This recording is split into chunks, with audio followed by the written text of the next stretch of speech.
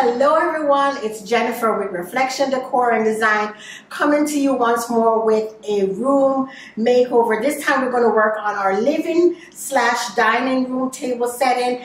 Please, if you're not a subscriber, don't forget to subscribe.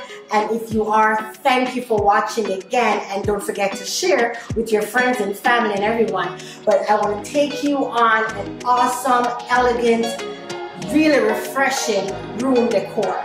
Stay tuned.